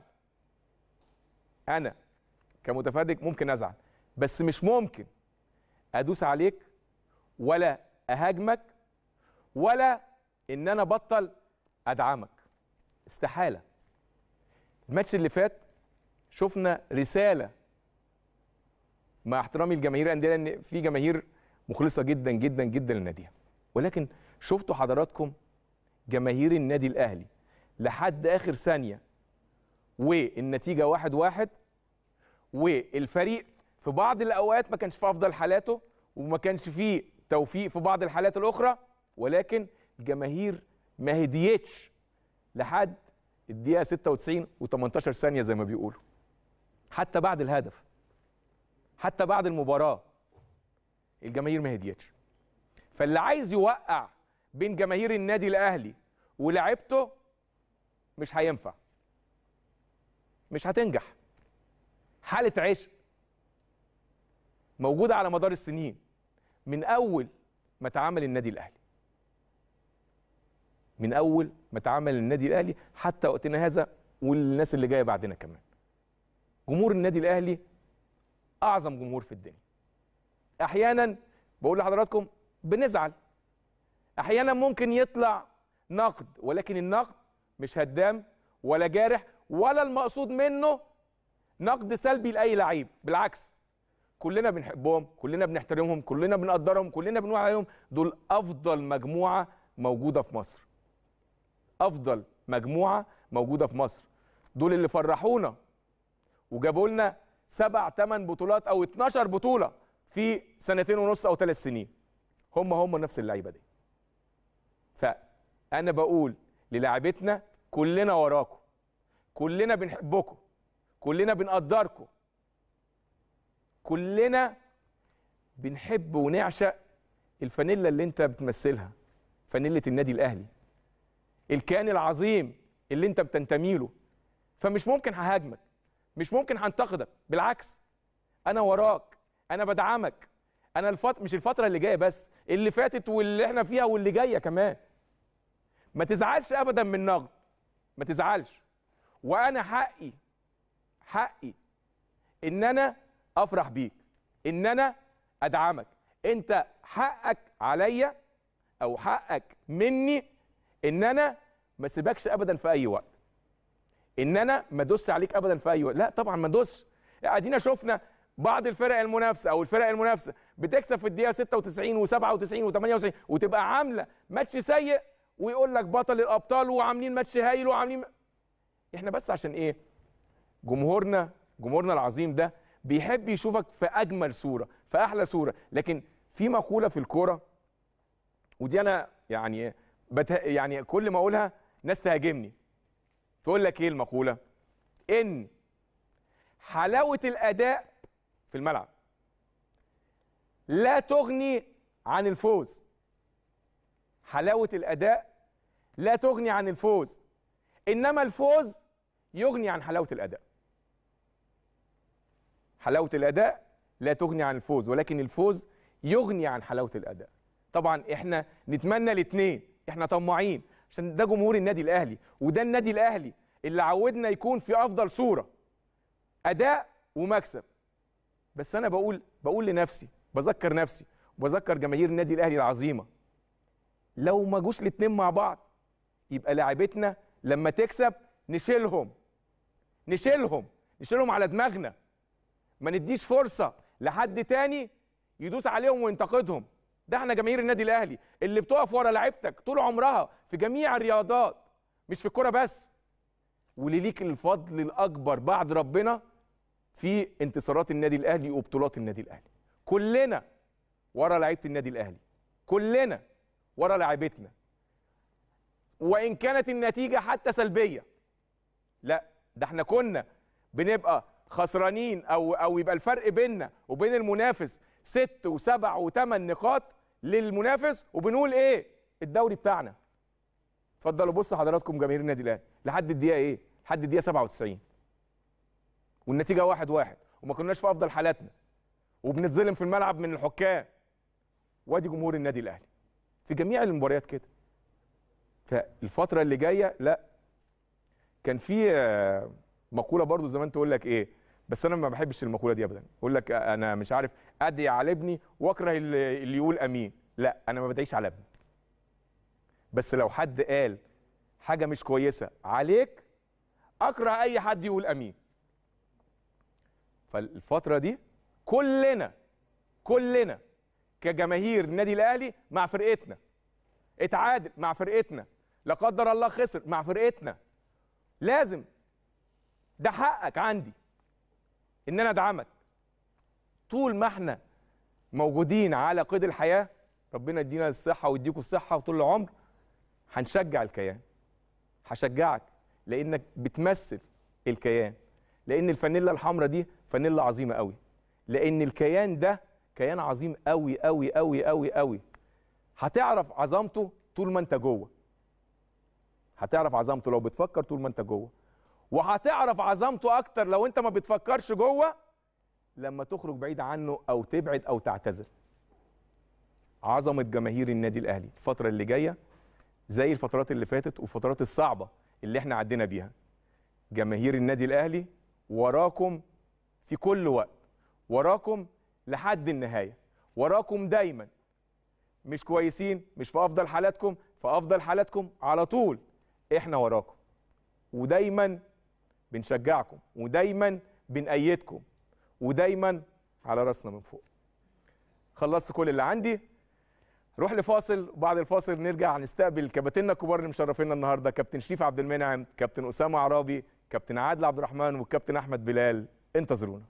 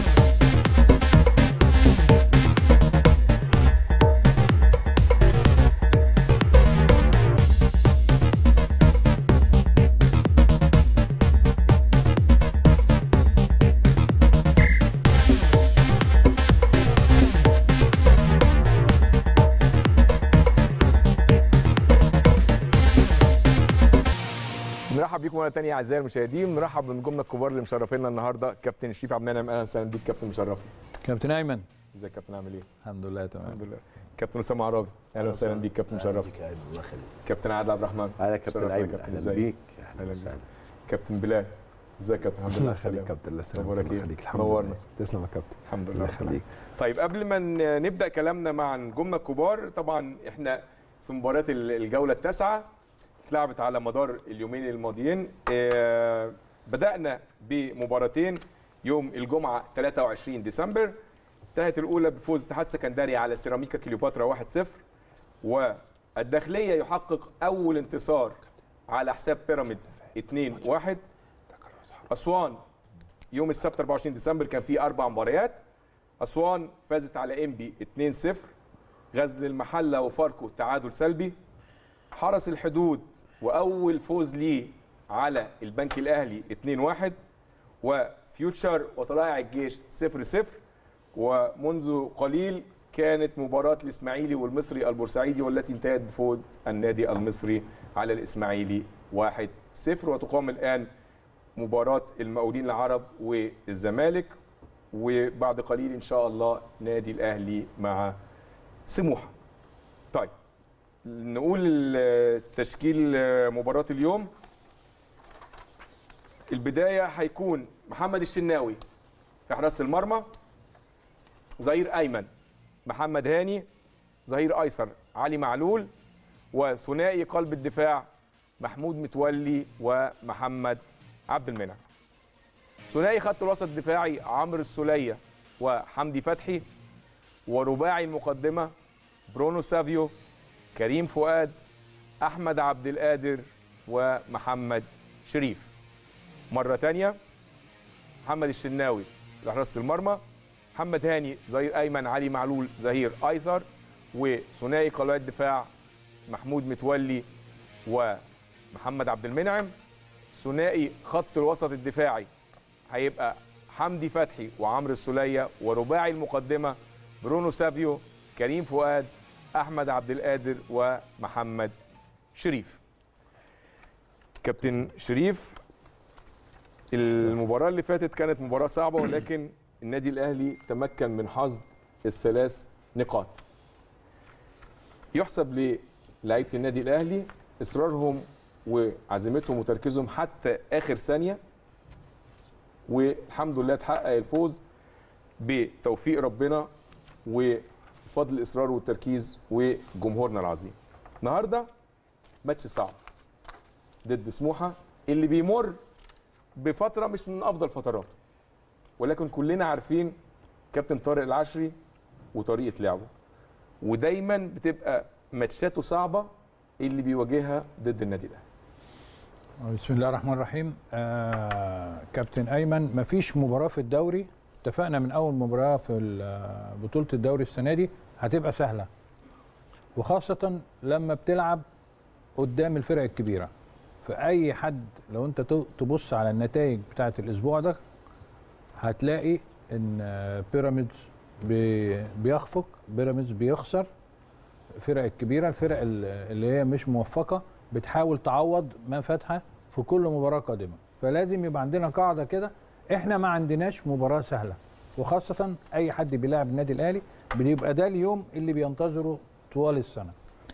آه شكل واستعدادات آه النادي الأهلي نفسه اتفقنا برضو كلنا إن هو اللي بيدي وبيسمح للفرق اللي قدامه إنها تكون موجودة عنده في في المباراة. يعني أنا بأدائي إحنا على فكرة الماتش اللي فات آه، أنا بقول إن إحنا أول half time الشوط اللي الماتش اللي فات كنا هايلين هايلين من ضغط هايلين من آه، فرص هايلين من أحراز أهداف ولكن ما زالت الهدف اللي إحنا بنجيبه و إزاي تستطيع إنك أنت تغطي الهدف وتقتل المباراة كان في إيدك ال half time أنا لما قعدت اتفرجت على الماتش تاني لقيت إن إحنا كنا كويسين قوي يعني إحنا بس بتاخدنا ال- ال- الحمية وبنتمنى الأفضل. افضل أيوه. أنا بتمنى التم- التميز دائما. ولكن في الآخر إحنا في مبدأ بنتمنى الفوز. أنا زي ما كنا بنقول مباراة تلعب ولا تكسب. مباراة تكسب ولا تلعب. لا أنت على طول بتلعب. ولكن بيجي عليك فترات بتتعرض لأهداف بتخش فيك أو بتتعرض لتأخر في في النتيجة. فإحنا من جوانا ما بنبقاش عايزين ال- الإثارة دي وال وال والشكل ده خاصة مع الفرق اللي انت المفروض ال squad بتاعك أو فردياتك أو آه، اسلوبك اقوى من اي فرقة موجودة الحمد لله يعني. فعشان بس نحط النقط على الحروف لو الأهلي هيلعب بنفس الروح اللي بيلعب بيها في كل مباراة أعتقد إن التوفيق بس هو اللي بينقصه. والتعديل دايما في التشكيل النهارده اهو كنا بنطالب بالتعديل يا ايمن ان لازم يبقى في center forward آه، في عمق هجومي أو النهارده ال center forward في العمق الهجومي مع تحتيه راجل بيعرف يلعب كوره كويس قوي آه، بديل لقفشه أو هو الاثنين هو. وقفشه بيلعبوا في المنطقة دي آه، وهو راجل مكمل كمان مع مع راس حربة يعني shadow striker كمان بيكمل برونو سافيو. كريم فؤاد إحنا متعودين عليه من نجاحات كبيرة وعامل لنا ماتشات كويسة في أول الدوري. أحمد عبد القادر بتحركاته ال- المثمرة اللي كانت موجودة في الشوط الأولاني المباراة اللي فاتت نتمناها النهارده. عمرو سولية وحمدي فتحي ال copy أو ال copy paste بتاعت ال- نص ملعبنا. آه وعلي معلول وعبد المنعم ومتولي ومحمد هاني. وب... وبتمنى الشفاء العاجل برضو ل- لأخونا وابننا. إن شاء الله. آه، أكرم توفيق. آه، وإحنا اتفقنا أنت فاكر أنا وأنت ما كنا بنتكلم على حكاية أكرم؟ لازم يهدى على نفسه لأنه بيبقى عايز يحافظ على مكانه والناس صحيح. لازم تفهم إن شخصية أكرم هي كده. شخصية أكرم إنه آه، يحافظ على مكانه ويؤدي اللي الجماهير بتطلبها منه. ف هارد لك يا أكرم ومعلش المؤمن مصاب وهترجع زي بنفس ال- الروح اللي رجعت بيها المرة اللي فاتت عشان آخد شهرين ثلاثة يمكن في أي توقفات للمنتخبات أو أي حاجة تكون فرصة ليك وتكون موجود معانا. الشناوي طبعا. وبقية اللعيبة اللي موجودة آه هي بنفس ال- الدرجة وبنفس الشكل. أنا ببقى وأنا بلعب مباراة يا كابتن أيمن وعندي على الشكل الاحتياطي أو الدكة بتاعتي قوي أنا ما بقلقش. بس ببقى طالب من الناس اللي بتبتدي المباراة تعزز فوز كبير قوي لأي حد ينزل يبقى عنده بدل ما هو نازل تحت ضغط يبقى نازل وهو في في جيبه فوز يعززه ويجيبه فوز يخلصه. ماتش الاتحاد اتعرضت لضربتين جزاء وكسبان ثلاثة. يعني دي مظبوط. هايل. انت بس انت عليك انك تجيب لجوالك وانت ما فيش اي حد هيمنعك من اي حاجة. ثقتك بنفسك وشخصية النادي الأهلي لما بتبقى موجودة إحنا ما بنقلقش. صحيح. وبنثني على أداء لاعيبتنا وكل حاجة الحمد لله. ولاعيبتنا إحنا إحنا طمعانين فيهم زيادة عن اللزوم. ليه؟ لأن إحنا عندنا عهد السنة دي. السنة دي في عهد بيننا وبين بعض كده إن إن شاء الله كل البطولات تكون موجودة. وابتديناها ببطولة كبيرة جدا اللي هي السوبر على المنافس. صحيح. بإذن الله المباراة النهارده تبقى سهلة على اللعيبة بأدائهم وروحهم بإذن الله. بإذن الله يا كابتن إن شاء الله. طيب احتياطي النادي الأهلي النهارده علي لطفي لحراسة المرمى ياسر إبراهيم حسين الشحات آليو ديانج حسام حسن محمد فخري محمد مجدي قفشة أحمد نبيل كوكا ورأفت خليل. تشكيل نادي سموحة النهارده الهاني سليمان لحراسة المرمى رباعي خط الظهر شريف رضا خالد عبد الفتاح محمود شبانة وأحمد حكم ثلاثي وسط الملعب أحمد مصطفى محمود عبد الحليم صديق اجولا وثلاثي المقدمة دوكو دودو بنيامين بواتينج ومحمد سعيد. البدلاء عمر صلاح حسين فيصل أحمد جمال علي زكي أحمد عبد الرسول أبو بكر محمد محمد عصام ممدوح عبد ربه والصباحي عماد. كابتن أسامة كنا بنتكلم آه، في الفاصل بنقول إن إحنا طبعا كجماهير النادي الأهلي بنبقى طمعانين في أداء ومكسب. لكن الأداء بطبيعة الحال في في فترة من فترات خصوصا لما يكون فيها ضغط مباريات وعندك غيابات المكسب بيغطي على الأداء في بعض الأحيان. ناس بتقول في بعض الأحيان أنا بقول في كل الأحيان. يعني حلاوة الأداء لا تغني عن الفوز ولكن الفوز بيغني عن حلاوة الأداء. ال- الفوز بيغنى عن حلاوة الأداء لو في بعض المباريات لكن صعب قوي آه، يبقى في عدد كبير من المباريات. أنت أساسا طبعا بتلعب مسابقة تنافسية وفيها مراكز وفيها بطولة فالفوز هو الأهم. الفوز هو الأهم. صحيح. ولكن غالبا الأداء الكويس هو اللي بيجيب لك فوز. ده, ده دي, دي القاعدة. لكن أحيانا هناك بعض المباريات حتى في كأس العالم اللي هو أعلى مسابقة أنا كنت في لسه هقول لك بعض الأمثلة. في. فرق آه، منها الأرجنتين اللي خدت البطولة. يمكن أفضل أداء ليها هو الماتش الأخير. لكن طوال البطولة أدائهم مش كويس قوي. لكن في تنظيم في آه، آه، خطوط متقاربة بيلعبوا ككتلة واحدة روحهم عالية جدا. عندهم حاجات كتيرة أدت إنه في النهاية يكسبوا. لكن حلاوة الأداء يمكن جت في المباراة ال- ال- الأخيرة. وهكذا يعني آه، حتى بقية ال- الفرق كلها في أحيانا مباريات كانت بيكسبها مثلا المنتخب الفرنسي أو المنتخب ال- الكرواتي أو ما فيش أداء حلو قوي لكن في فوز. مم. زي ما أنت قلت الفوز بيغني عن الأداء ولكن مش هي القاعدة. أيوه لأن غالبا الأداء الجيد بيؤدي لفوز. دي النتيجة ال- ال- الطبيعية يعني. المفروض يعني. ف لكن زي ما انت قلت ممكن في ضغط مباريات في غياب لعيبة آه، في أحيانا أثناء الموسم بيجي لك نسبة مباريات مش جيدة. الحلو بقى إنك تقدر تكسبها. تكسب آه. الحلو إنك. تقدر تكسبها.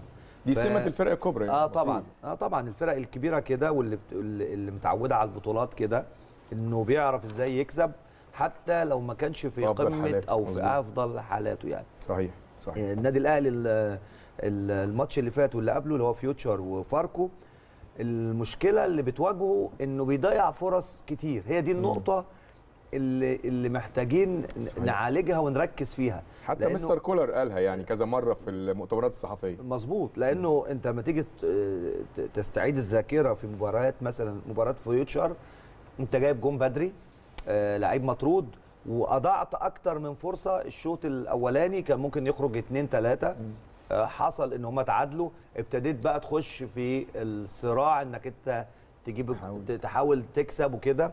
ما ما ما وفقتش فيها. نفس الشيء مباراة فاركو. الشوط الأولاني أضعت أكتر من فرصة بعد الهدف و و و و- ضاعت فرصة تلو الفرصة. هم تعادلوا آه، اتصعبت الأمور لغاية لما شريف قدر في الدقيقة الأخيرة يحرز هدف التعادل. ده بيحصل في كرة القدم. يعني مش بنقول انه إنه كل المباريات تمشي بسهولة ولازم تكسبها اتنين وتلاتة. لا طبعا يعني أحيانا كتير بتطلع بواحد صفر وخلاص. مظبوط. لكن هي المشكلة إضاعة الفرص دي نقطة. والتركيز ال- ال- اللي المفروض يحصل في الخط الخلفي في الهجمات اللي بتيجي علينا. أيوه يعني برضو دي برضو شوية كانت محتاجة معالجة لأنه في مباراة آه، فيوتشر الوقفة ما كانتش مظبوطة في هدف وال- والماتش اللي فات الهدف اللي جابه أحمد شريف برضو آه، حصل آه، برضو الوقفة ما كانتش مظبوطة من الخط الخلفي وما فيش تعطيل في نص الملعب فالنقطتين دولت هم اللي أحيانا يصعبوا الأمور عليك لكن أنت لو بالشكل الطبيعي وبتجيب آه، نسبة جيدة من الفرص اللي بتتاح ليك هتلاقي الماتش مشي بسهولة اتنين وتلاتة ومش هتبقى.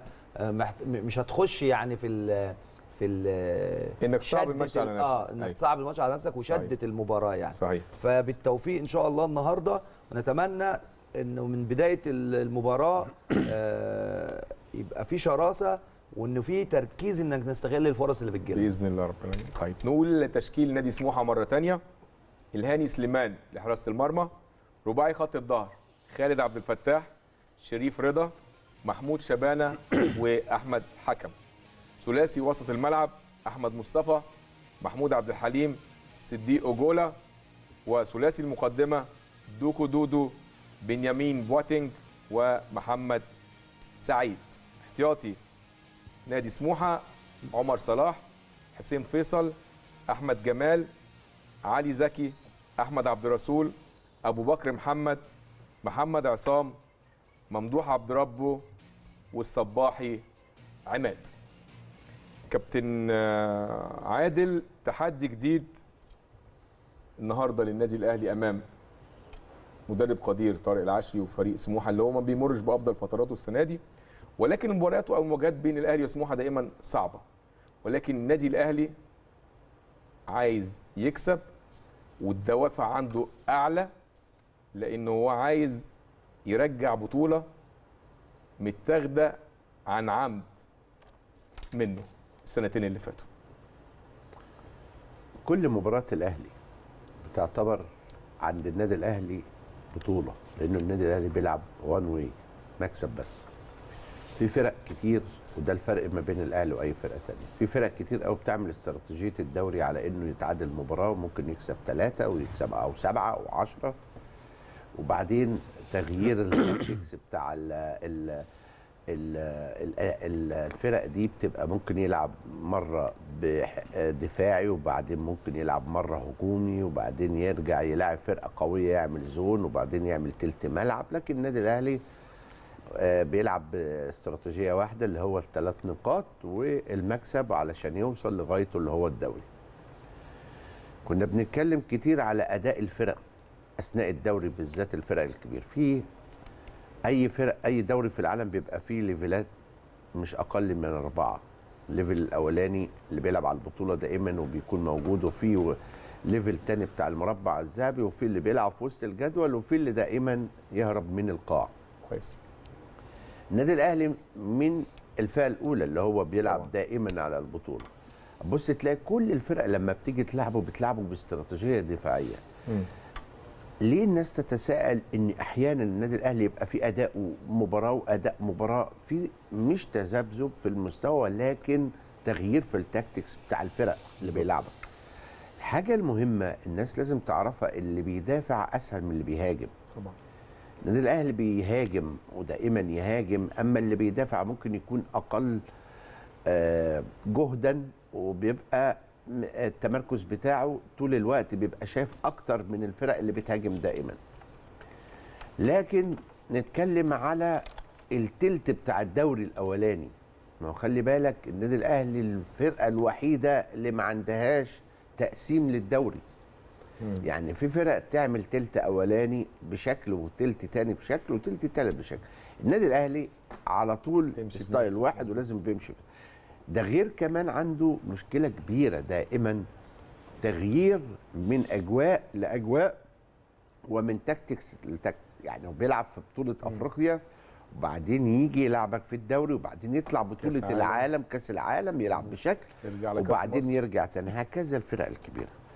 وبعدين يلعب كأس مصر. وبعدين خلي بالك المشكلة الكبيرة إنك أنت بتروح تلعب مباريات أزيد يعني الدوري المصري دائما النادي الأهلي بيلعب أزيد بحوالي م- 16 مباراة مثلا عشان بيكمل ما شاء الله يعني مش عايزين نحسده بيكمل في بطولة أفريقيا دي واحد وبيلعب كأس العالم للأندية. الحاجة الثانية اللي عايز أقولها لك إنه ثلاث لا أنا عايز أقف معاك في النقطة ديت. أنت بتتكلم على الضغط والمسابقات المختلفة اللي النادي الأهلي بيلعب فيها. أوكي. فمحتاج يبقى عندك بدائل قوية عشان تضمن لك الاستمرارية في المنافسة وحصد البطولات طيب عارف يا كابتن إن عندك بدائل قوية. أنت عارف ده ضد مبدأ استقرار الفرقة؟ أديك دليل. فرقة برشلونة أيوة. بيلعب ب 14 15 لعيب سبع سنين وخمس سنين مش سنة. وبيلعب بطولات كتير. إلا لو حصلت إصابات. يعني آه لا هو مجمل لعيبته 15 16 17 لعيب. أيوه انت لما بيبقى في فرقة بتلعب اثنين وثلاثه ولا 24 لعيب في في 10 أسابيع إيه اللي بيحصل؟ يبقى عندك مشكلة لا لا طبعا بس أنا بتكلم على ضغط مباريات أنت ممكن تحتاج في بعض لك- أنا الاوقات هكمل لك فكرتي يا كابتن آه أنت محتاج طبعا. لأنك أنت أنا بقول لك أنت بتخرج من حاجة لحاجة لحاجة لحاجة لحاجة بالظبط. بس شوف الانتظام بتاع النادي الأهلي لما بيبقى قبل ما بيروح كأس العالم للأندية خلي بالك وتذكرها كويس. بيبقى الأفضل بدنيا وبيبقى الأفضل قوة. أنا كنت عايز أكمل لك مباراة كأس العالم للأندية بثلاثة أربعة دوري ممتاز. دي لازم الناس أنا بكلمك على شغل تدريبي. كم جري كم احتكاك كم ضغط عصبي.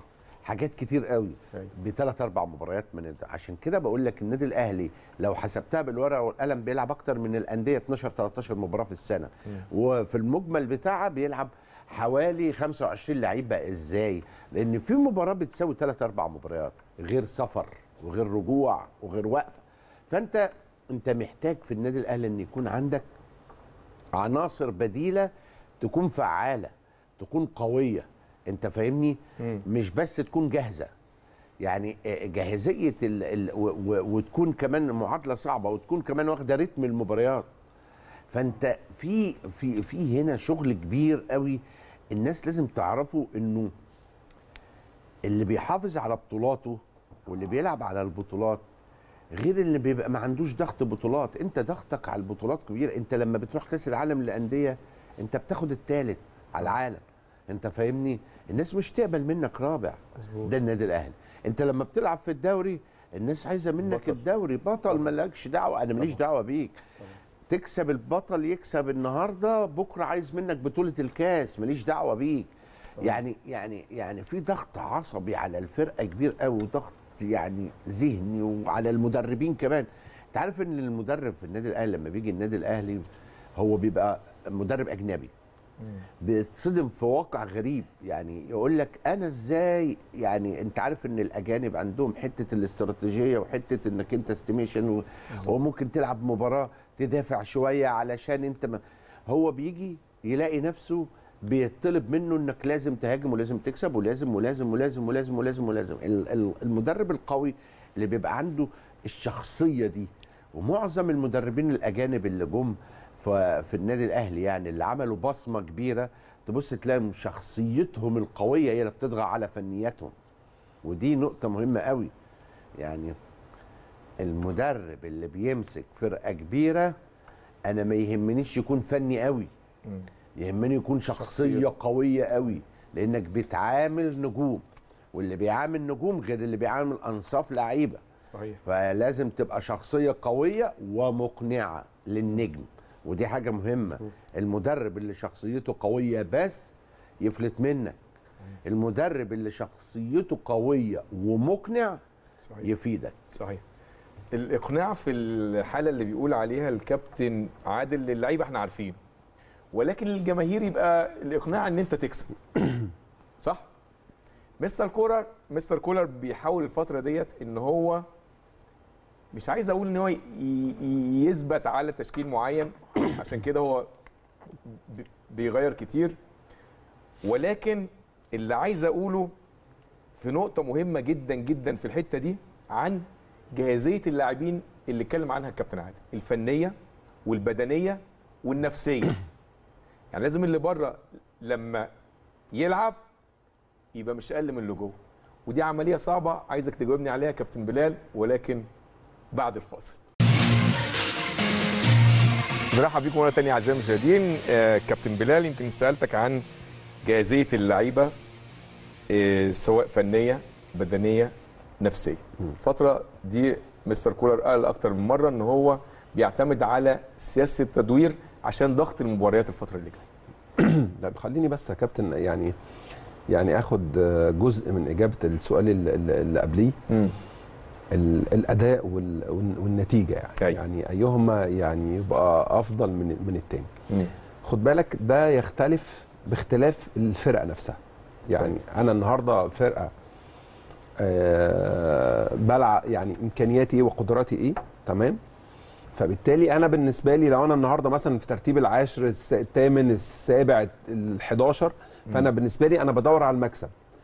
كمان يعني من من التعليمات اللي بيديها المدير الفني انك انت لازم تفايت طول المباراة عشان تكسب أو عشان تحقق فبالتالي هنا المكسب بالنسبة له اهم حاجة. اهم من هو كمان ما بيفكرش في حتة انك انت عايز تعمل جيم حلو أو عايز تلعب كورة آه، ممتعة أو عايز تلعب كورة راقية. انت عايز بس داخل عندك هدف الا هو المكسب. يعني النهارده الفرقة مثلا اللي بتنزل در... اللي بتصارع على الهبوط بيعمل إيه؟ بيقول لك أنا النهارده نازل اكسب بس. تكسب إزاي بأي طريقة؟ أيوة. هقاتل هكافح هموت نفسي في الملعب هجري آه، زيادة عن عن المعتاد بتاعي. المهم أنا في النهاية أجيب جول بقى أون جول أجيب جول مثلا آه. من تسلل ويتحسب. المهم أخرج من الملعب أنا كسبان. هو ده الهدف الأقوى والأسمى. الفرق الكبيرة ما بتعتمدش على كده. الفرق الكبيرة الأداء دايما المتطور هو اللي بيجيب المكسب فيما بعد. أنا ممكن أكسب النهارده وأنا وحش.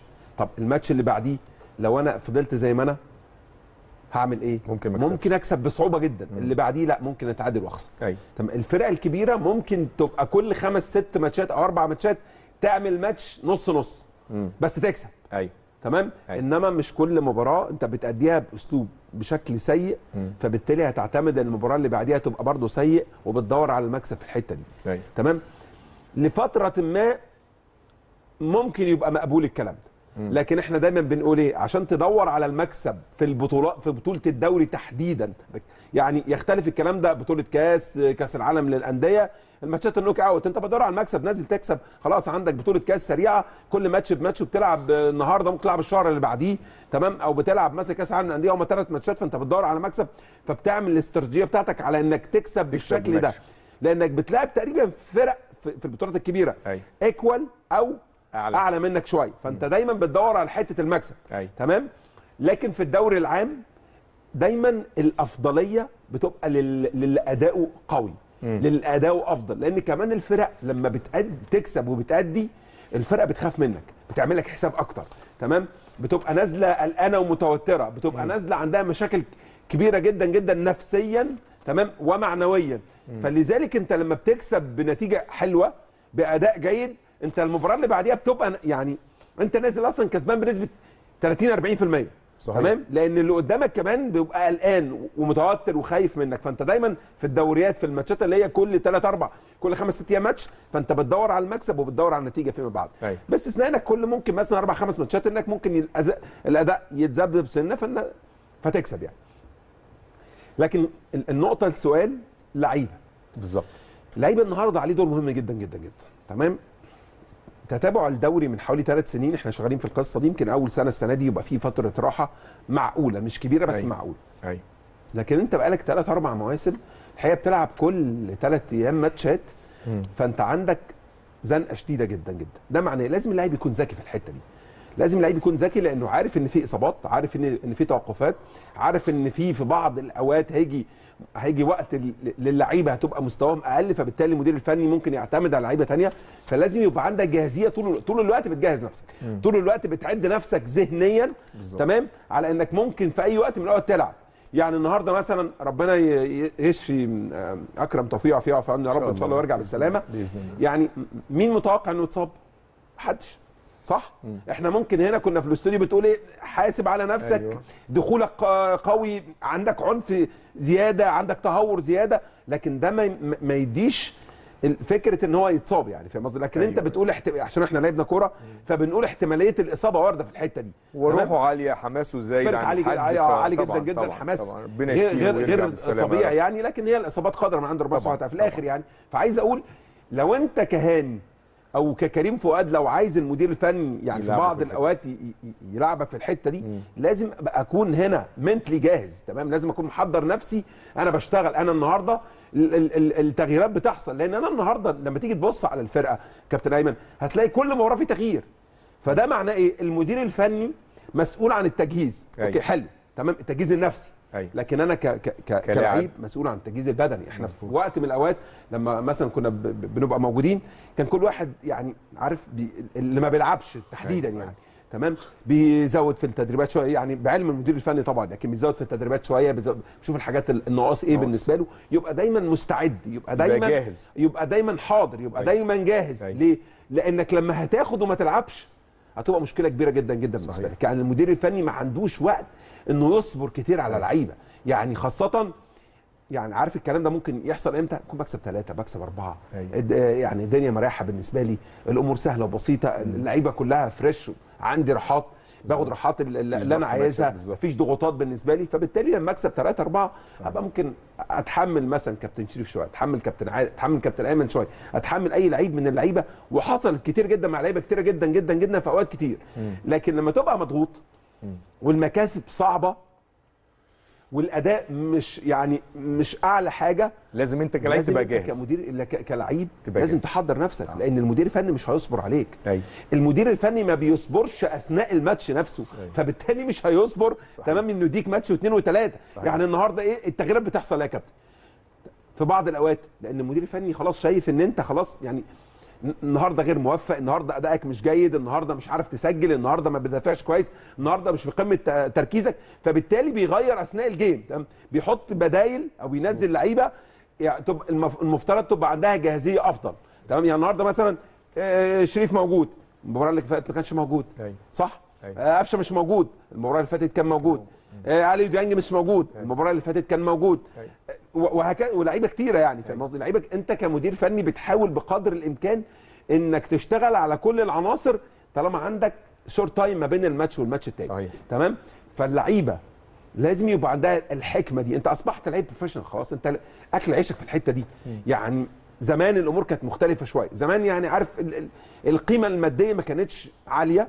فبالتالي اللعيب كان عنده تركيز بره وجوه بيفكر إيه وبعد 10 سنين هي ما يبطل هياخد إيه وهيشتغل إيه فابتدي يدور على شركة بترول ويبتدي يدور فاهم قصدي ونماذج كتيرة جدا الوضع اختلف لكن النهارده يا كابتن أيمن النهارده ممكن تلعب ثلاث أربع سنين تبقى بتوصل لأعلى مستوى خلاص يبقى دول بالنسبة لك ده, ده أنت أنت أنت عملت مستقبل كبير جدا النهارده عندك الأرقام تسويق كام؟ بتعلى طبعا. النهارده الأرقام أنت بتتكلم مثلا صحيح. في ال top players اللي في مصر بتتكلم 15 مليون 15 جنيه مليون، فأنت. لما تلعب لك أربع مواسم مثلا تبقى في ال peak بتاعك توصل لحد ست- تاخد 60 مليون 70 مليون فأنت أيوة. مش محتاج حاجة. فاهم يعني أنت أصبحت businessman بعد يعني بطلت فبقيت businessman فاهم أيوة. قصدي؟ أيوة. ف- فأنا بتكلم جد على فكرة فالنهاردة أيوة. لازم اللعيب فعلا تفكر باحترافية شوية صحيح. على فكرة من ضمن الحاجات المفترض تتعمل في الأندية الكبيرة إنك تجيب هات حد نفسي حد أيوة. يشتغل واللعيب كمان لازم يجيب مدير مدير أعمال مش وكيل خد بالك مدير أعمال يصفي له كل حياته يعني يخليه يركز بس في الماتش إحنا هنا اللعيبة هنا بتستخسر شوية تطلع فلوس لحد يعني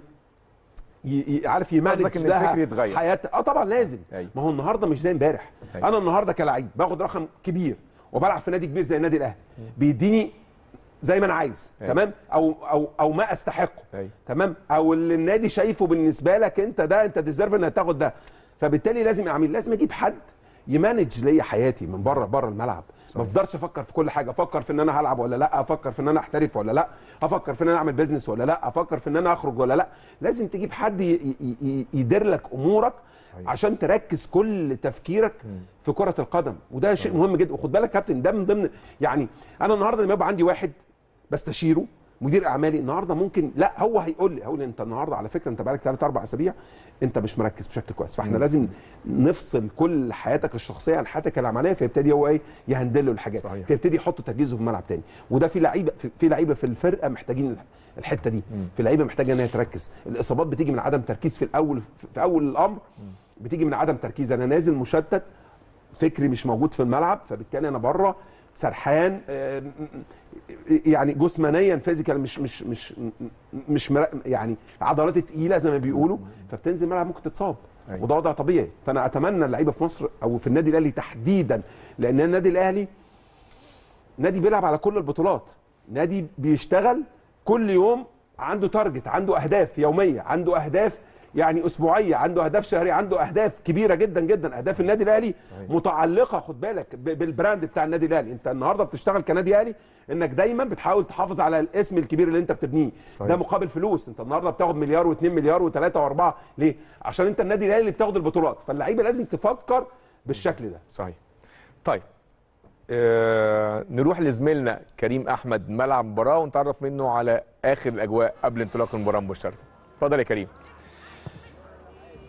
بجدد تحية لك من جديد كابتن أيمن شوقي كل نجوم الاستوديو التحليلي كل جمهورنا العظيم جمهور النادي الأهلي والبداية كالعادة من الجمهور. يعني طبعا كلنا بنتمنى السلامه لجمهور الاتحاد طبعا في المباراة الأخيرة. يعني الهتاف الكبير جدا كان من جمهور النادي الأهلي للاطمئنان بشكل كبير جدا على جمهور الاتحاد. العلاقة الطيبة جدا بين الناديين وبين الجمهورين وبين مجالس الإدارات بتكون مردودها كبير جدا في أي المباريات سواء في كرة القدم أو في الألعاب الأخرى. لكن كالعادة طبعا إحنا النهارده متواجدين في استاد السلام طبعا الأهلي يو السلام مباراة الأهلي وسموحة مباراة مهمة جدا. الهتاف من البداية لكل لاعبي النادي الأهلي. الشناوي يمكن كالعادة بيكون متواجد اللعيبة حياته بشكل كبير وطلبة اللعيبة كالعادة طبعا بالثلاث نقاط والاستمرارية في سلسلة الانتصارات. الجو يمكن فيه برودة شوية لكن بخبراتكم الكبيره طبعا يا كابتن ايمن أنت عارف إن ده جو هيساعد بشكل كبير جدا. اللعيبة يكون في بذل جهد كبير مع التحفيز الكبير جدا من جمهور النادي الأهلي اللي بنتمنى إن شاء الله بإذن الله مفعوله كالعادة. 90 دقيقة هتاف وحماس لأن الصعوبة الكبيرة جدا في كل الفرق اللي بتقابل النادي الأهلي لأن هي مباراة بطولة. بعيدا عن الترتيب وبعيدا عن الأرقام والأهداف وكل الأمور دي. انت بتلاعب نادي القرن بتلاعب بطل أفريقيا بتلاعب النادي الأهلي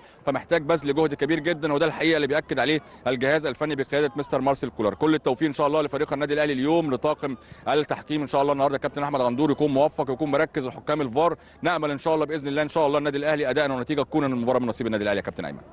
شكرا جزيلا للزميل العزيز كريم أحمد. رجعنا لكم مرة ثانية أعزائي المشاهدين. كابتن شريف آه، رأيك في تشكيل النادي الأهلي النهارده؟ بيلعب بنفس الطريقة 4 2 3 1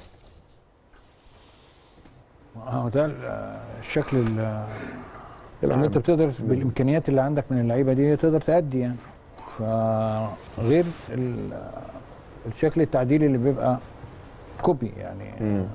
ديانج آه، حمدي فتحي آه، برونو سافيو قفشه كل واحد بيبقى عنده حتة كده يا كابتن أيمن. المدير الفني بيشوفها فيه بيبقى احتياجات اليوم ده. كويس؟ يعني أنا لما تيجي تكلمني على حسين شحات وكريم فؤاد مثلا أقول لك كريم فؤاد بيجري والملعب في وشه وكرة قدام رجله. حسين الشحات الكرة تحت رجله. هو ال planner بتاعها هو ال- ال operation هو ال- عنده رؤية إن ما حدش هيدي له الكوره أو هعدي أو هعمل زي زي آه، عبد القادر. الاثنين عندهم سمة آه، واحدة في الاختراقات. ولكن كل واحد يملك من الفرديات وال والإيقاع والتيمبو اللي إحنا بنسميه إزاي ينفذ الكره لما بتجيله إزاي رؤية الملعب. فهتلاقي اللعيبة كلها متشابهة. حسب أوقات المباراة عادي كان بيقول لك الأهلي ما بيجزأش ال- مظبوط. لا المباريات ولا ولا. البطولات ولا بيلعب على مبدأ واحد بس. الهدف اللي هو المرمى. مين فينا اللي هيحاول يعمل ال pass السليم بين معلول لشريف لسافيو لكريم فؤاد بيخترق لمحمد هاني بيعمل support من ناحية اليمين. والتأمين ال- الدفاعي اللي دايما بيبقى موجود من حمدي فتحي والسولية. أو لو ديانج بيبقى موجود كمان. مع ثبات محمد عبد المنعم ومحمود متولي اللي عنده كورة راجل بيحبها. وعلي معلول ومحمد هاني والشناوي. آه الكلاسيكيات ال- ال- الشكل الطبيعي بتاع أداء وتفوق النادي الأهلي الحقيقة يعني. ف كل اللي مطلوب منك إن الكره الباص يبقى سليم. الكره الثانية تبقى بتاعتك. بتبقى بتلعب ضاغط. فرقتك تبقى ضاغطة جنب بعض. مسهلة على نفسها بقى. عشان لما يبقى في تحركات للكره اللي- للراجل اللي معاه الكورة الدنيا بتسهل سهل. ولما الدنيا كلها بتطلع مع بعض تلاقي في فردة يمين وتلاقي في فردة شمال وتلاقي شكل الملعب حتى في تحكم والمساحات بتبقى آه قريبة أصلا ال counter attack اللي بتتضرب بيه أنت. في السرعات ما يبقاش أيوة. مؤذي أيوة. على طول يبقى عندك احتكاكات لما حد يبقى معاه الكوره عايز يضرك اتنين تلاتة قافلين عليه والناحية الثانية بتبقى ضم على جوه برضو تعمل التغطية اللي هي صحيح. المناسبة صح. فبالتوفيق النهارده بإذن الله. الأداء الطبيعي بالنسبة للعيبة. يعني. بإذن الله. طيب كابتن أسامة في عدة تغييرات. بره الملعب وجوه الملعب. عودة محمد عبد المنعم بداية حمدي فتحي برونو سافيو متواجد ولكن مكان محمد مجدي والبدء بمحمد شريف كراس حربة. يعني هي تغييرات منطقية يعني يمكن بس هي إليو ديانج آه، وحمدي حمدي و- والسوليه هيبتدوا اليو ديانج كان ماشي بشكل كويس بس يمكن الماتش اللي فات أقل شوية. لكن آه، برضو حمدي وعمرو السوليه يقدروا يسيطروا على وسط الملعب. محمد عبد المنعم ده الوضع الطبيعي هو الأساسي بالنسبة للراجل اللي هو محمود متولي. آه، ياسر السنة اللي فاتت عمل ماتشات كويسة قوي يمكن السنة دي ما بيلعبش بصورة دايمة لكن آه، دوره برده مهم. لكن محمد عبد المنعم النهارده بيبدأ وواضح ده التشكيل الأساسي بالنسبة للمدافعين آه، بالنسبة مم. الثبات. آه، محمد هاني طبعا موجود آه، نتمنى السلامة لاكرم توفيق. لكن محمد هاني محمود متولي محمد عبد المنعم علي معلول ده تقريبا منطقي. آه الشكل الثابت للراجل. آه بالنسبة لبرونو سافيو إحنا قلنا الماتش اللي فات هو كان حاطه كراس حربة. مظبوط. وكلنا اتكلمنا إنه يعني في وجود شريف ووجود شادي حسين ووجود حسام حسن ووجود آه آه بس اسمه بيرسي تاو طبعا. متعور آه الأفضل يكون حد فيهم موجود وهو يلعب يا إما تحت رأس الحربه أو في الجناح حاجة في بعض المباريات. اللي هو بيبقى فيها مشاكل في قلب الدفاع لبعض الفرق المنافسة. هو بي- بيميل مستر كولر إن هو يلاعب في الحتة دي واحد بياخد البينيات واحد بياخد الكرة ويروح. يعني مثلا قبل كده شفناها في فرقتين لعب بيرسي تاو في المكان ده وهو مش مميز في بعض الحاجات ك- كراس حربة. الماتش اللي فات لعب برونو سافيو في المكان ده. هو بيقرأ الفرقة اللي قدامه وبناء عليه هو بيحط التشكيل. يعني ممكن يكون هو ليه رؤية في حتة مثلا الاختراق من العمق. يبقى أنا عايز ألاعب واحد زي برونو سافيو أو بيرسي تاو. هلعب من على الجناب. هم عندهم مشكلة في الجناب الفرق اللي قدامنا مثلا. يبقى أنا النهارده هلعب على الجناب. أبدأ مثلا النهارده بشريف. يعني مثلا النهارده عارفين إن طارق العشري بيقفل المنطقة دي خالص. هو ده أسلوب لعبه كده. فممكن يكون لا هيلعبوا هيلعبوا على الجناب. عشان كده بدأ بشريف النهارده. ما هو أي مدير فني يا أيمن أكيد عنده وجهة نظر. لكن إحنا بنتكلم على رؤيتنا إحنا. هو أكيد عنده وجهة نظر أيوة. في التشكيل اللي بيختاره. ولكن المنطقي برضو إن يكون في رأس حربة أساسي للنادي الأهلي. بيلعب واضح إنه ده رأس الحربة الاساسي بتاع النادي الأهلي. أيوة. ما- يعني آه، آه، التغييرات الكتيرة في المكان آه، ممكن تؤثر على أداء اللعيبة فنيا ونفسيا. يعني يعني مرة برونو سافيو مره بيرسي تاو مرة محمد شريف مرة شادي حسين مرة حسام حسن في عدد قليل من المباريات. برضو لازم يبقى في ثبات لرأس الحربة. أيوة. ممكن أقول لك عدد ماتشات وبعد كده في ماتش هاجي أعمل كده.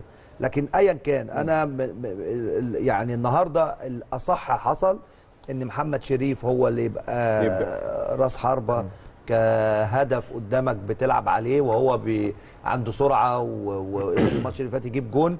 برونو سافيو آه، بيلعب من تحتيه. ولكن هي بس المشكلة إنه إنه أحيانا لابد إنه سافيو يسقط لتحت شوية عشان يستلم الكورة من عمرو السولية وحمدي فتحي لأنه تملي هو بيلعب ضامم شوية راس الحربة. يعني ما بيلعبش إنه يلعب ل ل ل ينزل لتحت عشان يستلم الكرة من عمرو السولية و- و- وحمدي فتحي ويبتدي يلاعب الناس يعني. فدي نقطة. ال- طبيعي الطرفين هم هم كريم فؤاد وأحمد عبد القادر ثابتين بقالهم فترة. بالتوفيق ليهم. أنا بس سريعا كنت عايز أقول حاجة على سموحة. آه، فرقة سموحة آه، طارق العشري لعب 5 4 1 المرة اللي فاتت. بالظبط. أعتقد النهارده بيلعب 4 5 1 يعني هو آه. شال واحد من قلب الدفاع آه. وهيلعب أربعة. حليم هو اللي وهو قدام ال defense آه. هو اللي بيقعد. آه وهو حاطط خالد عبد الفتاح وأحمد حكم ومحمود شبانة وشريف رضا. أيوه. هو حاطط صديق جولة وبنيامين بواتنج الناحية اللي فيها علي معلول, معلول. وأحمد عبد القادر لأن هو عارف إن الحتة دي فيها اختراقات مظبوط، كتير مظبوط. وفيها سرعات كتير. اللعب. والناحية الثانية بقى في شريف رضا وأحمد مصطفى ودودو كو دودو وقدام محمد سعيد. فهو آه بس طارق آه معروف إنه بيركز قوي في الدفاع مظبوط.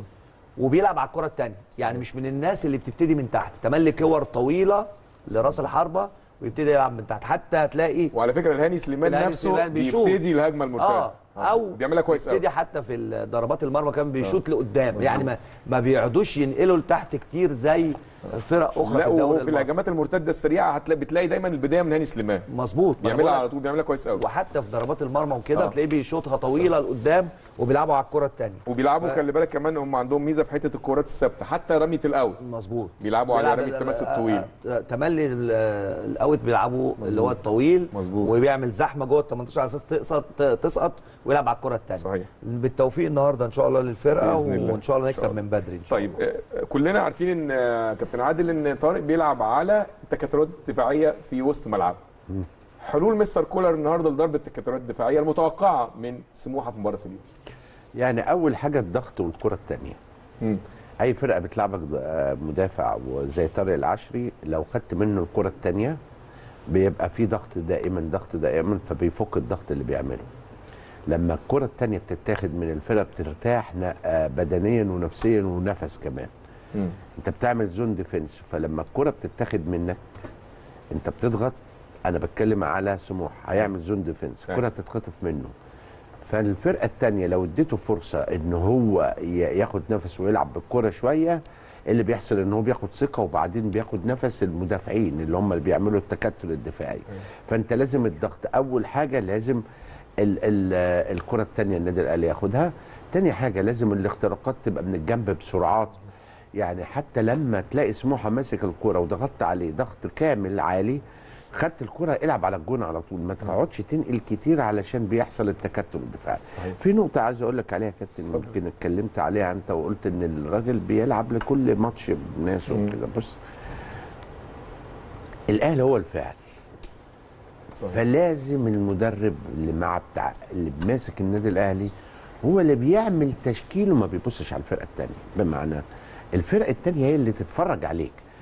يعني حتة الفيديو ما بتبقاش مهمة للنادي لمدرب النادي الأهلي قوي. ألا يتعرف على الكور الثابتة. لكن أنت اللي بتحط أسلوبك والفرق اللي بتلعب عليها. بس في بعض الأحيان ببص على نقاط القوة ونقاط الضعف في الفرقه اللي قدامي لا في وبلعب عليها لا برضه. في الدوريات ال- ال- لا في القريبة الفرق القريبة منك. والنادي الأهلي القريب منه بيبقى ماتش ولا اتنين. أنا بكلمك في بطولة أفريقيا ممكن.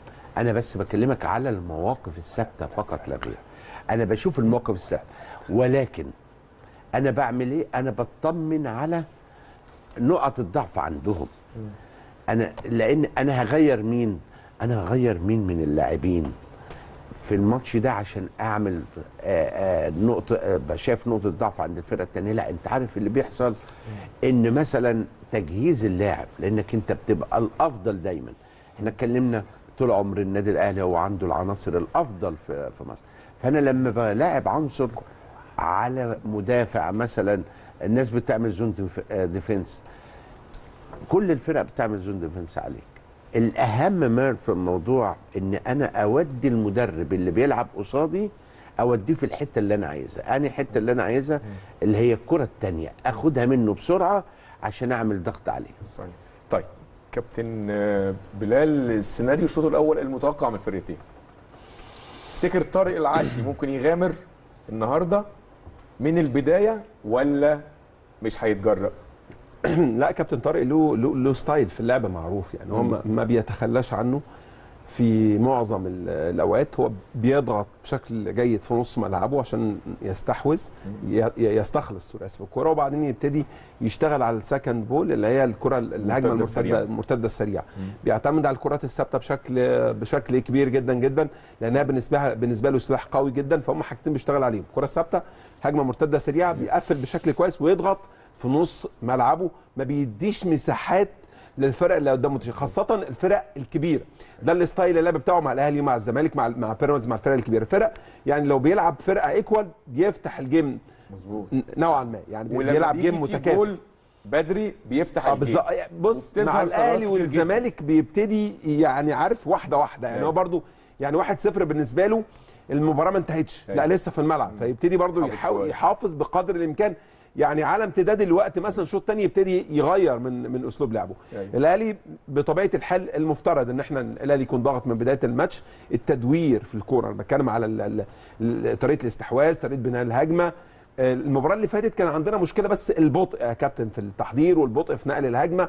ما عندناش سرعات موجودة في الملعب ما كورة بسرعة جدا أو ممكن يكون عندنا سرعات في اللعيبة. لكن سرعات في نقل الكورة كانت قليلة شوية. عشان كده ما كانش عندنا فرص كتيرة جدا المباراه اللي فاتت. ما كناش بنقدر نخترق الخصم المباراة اللي فاتت. النهارده أتمنى يكون عندنا سرعة في الأداء. مهم جدا يا كابتن. سرعة في الأداء سرعة في نقل الهجمة سرعة على فكرة في التحول كمان للهجمات المرتدة. الأندية الكبيرة خد بالك في بعض الأوقات بيبقى مهم جدا حاجتين. لما تكون بتلعب مع نادي بيقفل إنك صحيح. تشتغل على هجمة مرتدة سريعة فتستغل المساحات اللي موجودة. وإنك صحيح. تشتغل على الكرات الثابتة ده مهم جدا جدا بالنسبة للنادي الأهلي النهارده وبالتوفيق إن شاء الله للنادي الأهلي بإذن الله. الله تعالى إن شاء الله كل التوفيق للنادي الأهلي النهارده بتحقيق الفوز هنروح لفاصل ونرجع لحضراتكم بعد نهاية أحداث الشوط الأول انتظرونا